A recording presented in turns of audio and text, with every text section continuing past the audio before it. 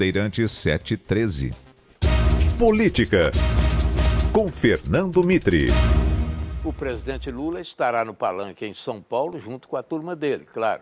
O que é tradição na história do PT no 1 de maio. O vice Alckmin, Geraldo Alckmin, também estará. Não é por acaso que o governador Tarcísio, interessado em outros palanques, não vai aparecer. Nem o prefeito Ricardo Nunes, que estaria fadado a ouvir os aplausos entusiasmados ao adversário Guilherme Boulos. Enfim, são movimentos e reações políticas previsíveis no seu rumo certo, eleições. As municipais, claro, mas também já na pista de 2026.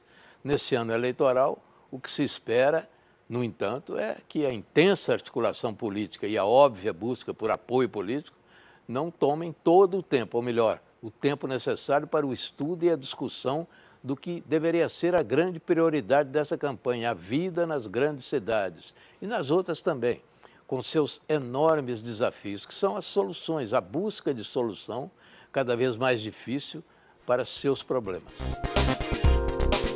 Bandeirante 714.